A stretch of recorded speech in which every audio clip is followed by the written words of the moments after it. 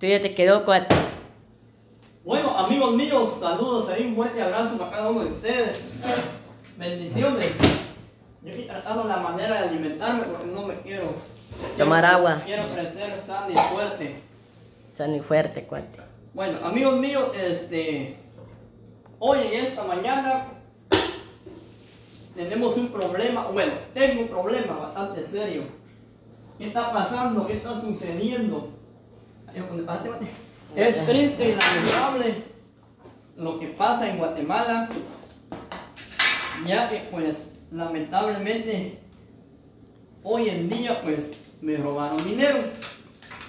¿Quiénes son los ladrones? ¿Quién fue el ladrón exactamente? No se sabe. Bueno, ustedes van a hacer sus comentarios y opiniones más adelante. Mira muchachos, les voy a contar. Hace días, hace días, no años, hace días, yo estaba eh, en lo que es en la ciudad capital haciéndome mi diálisis. Como ustedes saben, yo soy paciente renal.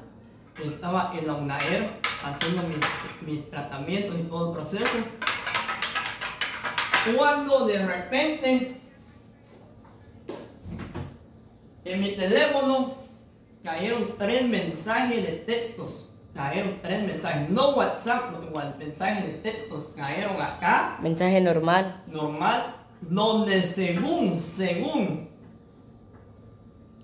este, a- cayeron tres, hicieron tres transferencias que yo no autoricé en ningún momento. La primera transferencia que me hicieron fue de 10 quetzales. La segunda transferencia fue de 10 mil quetzales. Y la tercera transferencia fue de 7 mil quetzales. ¿A qué cuenta? ¿A qué nombre cuenta? No lo sé todavía. Solo aparece que fue a CH. C-A-C-H. No sé qué mierda significa eso. En total, no me acuerdo un barco. En total, yo cuando vi eso, nomás terminé hacer mi tratamiento como tres horas y media, estaba en la hemodiálisis empecé nuevamente a meterme, queriendo meterme a mi cuenta, a mi banca virtual. Intenté nada. Ahora sí me hacía, mira, la verdad como que no tuviera internet. Internet tenés todo el Y gracias a Dios yo tengo internet día y noche, yo pago mensual, pago línea, no me hace falta internet. Y empezó así, mira. Yo dije, ¿por qué no entra mi banca virtual? Y para entrar al segundo entra uno rápido. Y segundo, todo, ¿va? rápido. Y nada. Entonces me preocupó. Después lo que hice, agarré mi tarjeta de débito. Yo creo que todo el mundo tenemos una tarjeta de débito, ¿va? Sí, todo. Todo el mundo tenemos una tarjeta de débito. Agarré mi tarjeta de débito, me fui a un cajero, inserté mi, inserté mi, mi tarjeta, mi código, todo el proceso fácil que se hace, y eso nada más en la memoria se lleva. Nada, no me dejaba acceder mi tarjeta de débito. Cuando yo vi, me tiró usuario bloqueado. Yo dije, pero ¿por qué me está tirando este usuario bloqueado mi tarjeta? ¿Por qué? O sea, mis cuatro códigos están bien. O sea, yo sé bien cuáles son, no lo voy a decir, ¿va? yo sé bien. ¿Por qué? Bueno, al ver todo este proceso que no me, no me daba la opción de, de poder entrar y poder averiguar qué está pasando y por qué, por qué se hicieron esas tres transferencias, lo que hice, me fui a una agencia, a una agencia más cercana, porque yo normalmente llevo más de 4 o 5 años, no me acuerdo, trabajando en el banco GIT Continental, con ellos he trabajado yo. Entonces les digo de que al llegar ahí, le expliqué a la muchacha que por qué me cayeron tres mensajes de textos donde me decía que según se hicieron tres transferencias, pero ¿por qué? Les dije yo, yo no autoricé eso, yo no hice nada de esto. Porque ustedes saben bien que para hacer una transferencia de nuestra cuenta virtual, lógico, contraseña, el token, validar token, copiar, pegar, es un proceso. No cuesta, pero es un proceso. Yo en ningún momento hice ese proceso. Le expliqué a la señorita, a la chava y la secretaria. ¿Qué pasó? Ella empezó a investigar. Y según que se hicieron esa transferencia a otro banco, según quién fue, no lo sé. ¿Quién tiene más mi información aparte de mí? Ustedes sabrán. Entonces les digo de que es triste y lamentable, ¿va? No sé si ustedes eh, han escuchado esa palabra que dice el phishing. Eso fue lo único que dijo la muchacha, la secretaria. A usted le hicieron phishing, me dijo. ¿Y qué mierda es esto? Phishing, le digo. Discúlpeme la expresión, estaba enojado en ese momento. ¿Qué mierda es esto? Phishing, le digo. Yo sí le dije, a mí me da igual. Ujú. Entonces, el phishing es una, es que roban con la banca virtual, le roban a los usuarios, a mi o sea, yo me puse así que pensar, dije, no, pues esto está mal. ¿Por qué? Porque uno sabe de que uno como ciudadano, uno tiene según la confianza de guardar su dinero en cualquier tipo de banco. Yo pienso que todo el mundo, todo el mundo tenemos tal vez 500 quetzales, 1000 quetzales, Dos mil. hay personas que tienen cantidades aguardadas, no sé, no sé, pero les digo que la mayoría tenemos algo ahorrado ahí guardadito. Ujú. Va, y para que después te des cuenta que te lo robaron, o sea, no te va a gustar.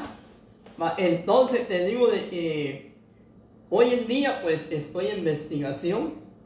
Claro que sí, yo ya fui a lo que es al Ministerio Público a poner mi denuncia como ciudadano legalmente en tercer proceso. Eh, acudí al banco también, ya fui a meterle denuncia al banco que por qué está sucediendo eso y, pe- y pedí apoyo que me ayudaran a averiguar todo este proceso. Bueno, miren muchachos, yo pienso que no soy el primero que me eh, o sea, no soy la primera víctima. ¿Por qué? Yo he estado viendo mucho en las redes sociales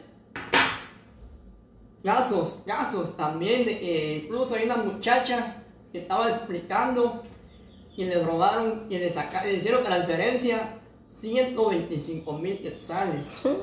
Hay otro señor también, en un video lo hizo públicamente, también TikTok estaba viendo yo, este, fueron 56 mil quetzales.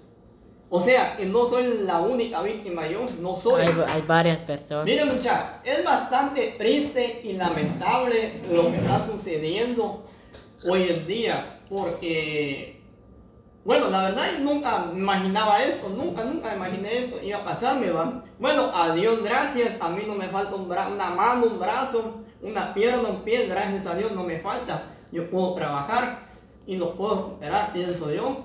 Pero, o sea, no se trata de eso, decir, ay, que se quiere mi huevo y todo cuesta. Hmm. Entonces, este, pienso de que, que esto no es nada bueno, no es nada bueno ante la sociedad, no está nada bien, porque eh, todo el mundo, pues, les digo, que tenemos esa confianza, y hoy en día les digo muchachos que la recomendación, mi consejo, tengan mucho cuidado en su cuenta, en su banca virtual, porque están pasando muchos vergueos ahorita. Eh, lamentablemente yo fui uno de esos, me cayó la chibolita a mí. No sé qué va a pasar, hasta aquí no sé qué va a pasar conmigo. Si el dinero lo voy a recuperar o ya lo perdí, no lo sé. Pero yo voy ahorita, miren, detrás de todo este vergueo. Porque la verdad les digo de este, son cosas que, que nunca imaginé, va, lamentablemente, va. Eh, he estado ahorita pues envueltas, claro que sí. Ya fui a tomar mi declaración y otras cosas más. En otro video se los voy a explicar más detalladamente las hojas y todo se los voy a mostrar. Entonces, ahorita pues eh, fui, un, fui, fui afectado, fui afectado en este punto. Pero les digo de que no sé qué va a suceder. El famoso phishing que le dicen, va. Pero les digo de que los mensajes aquí los tengo. Les voy a enseñar muchas por no es paja, no es broma, es algo serio. Ok, ahí también. No sé si me logras enfocar aquí bien la cámara. Ahí tengo los mensajes, mira, ven. Ujú.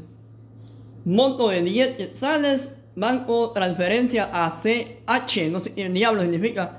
Monto 10 mil quetzales y el último monto iba en de 7 mil quetzales. Algo que yo no hice. Va, entonces mi pregunta es, ¿quién hizo eso? Va, mi pregunta Sí. es, ¿quién hizo esa transferencia? Mira, muchachos, todo el mundo tenemos un teléfono. Uno, dos, tres, cuatro teléfonos tenemos todo el mundo. Pero en lo personal, yo tengo muchas cosas, mucha información que solo yo sé. Contraseñas, hasta mierda, tiene una aquí, disculpa la expresión, tiene uno aquí. Entonces les digo que yo esto con nadie lo comparto, con nadie, con nadie lo comparto. Va, entonces mi pregunta a la vez, ¿quién, quién tiene más información sobre mis datos, mis datos personales? Va, esa es mi pregunta, porque ¿quién más pudo entrar a esto? O sea, ¿de dónde más pudieron sacar información y meterse y sacarme ese dinero? O sea, piensen, saquen sus comentarios. Va. Hasta hoy en día yo estoy en proceso con el Banco Gente Continental.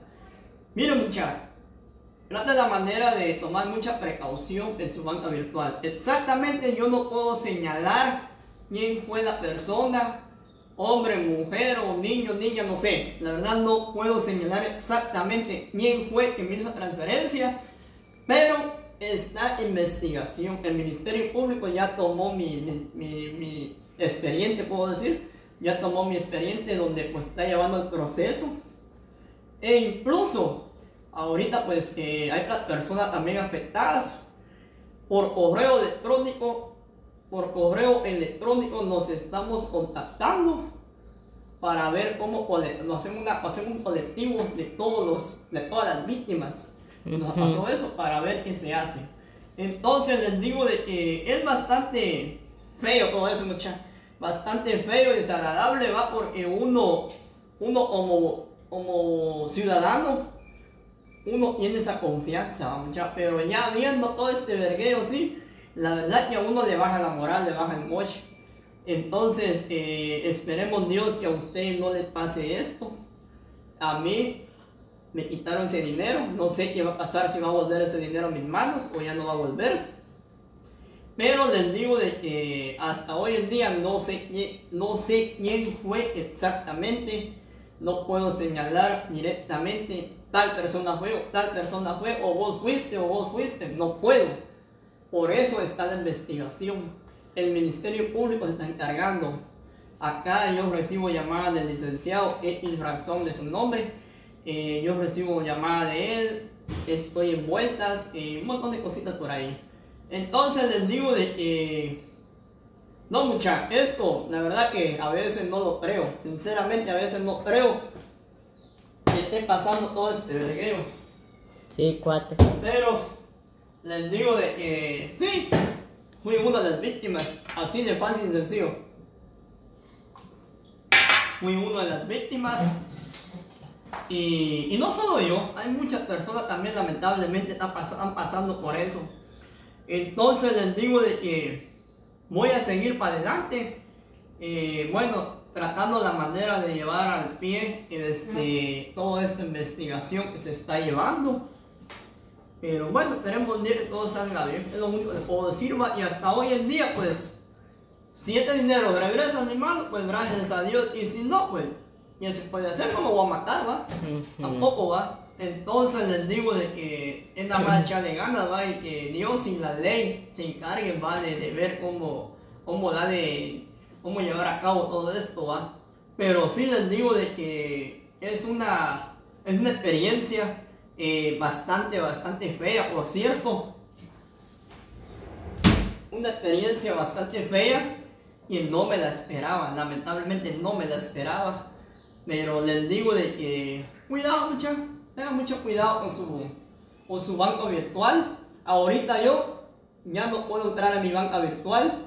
Tienen bloqueado. el banco a mí me bloqueó mi, mi cuenta, me bloqueó mi banca virtual por mayor seguridad. Me lo bloquearon. Entonces, eh, un, pues, un montón de cosas, mucha. Pero les digo de que cuidado, mucha. Es lo único que les digo, tengan cuidado porque la verdad es que ya da pena todo esto. Sinceramente, están pasando muchas cosas en diferentes bancos, no solo uno, en diferentes bancos están pasando. Y yo no les miento, muchachos, tengo pruebas. En otro próximo video les voy a enseñar. Tengo pruebas está firmado y sellado por licenciado y por el Ministerio Público la denuncia que hice. La denuncia que fui a poner al banco, claro, por supuesto, para que ellos me ayuden también a investigar cómo, cómo, cómo pasó todo eso y O sea, el punto aquí es que regrese mi plata. Así de fácil. Ok. Entonces los dejo. Bendiciones, muchachos. Adiós amigos y bendiciones.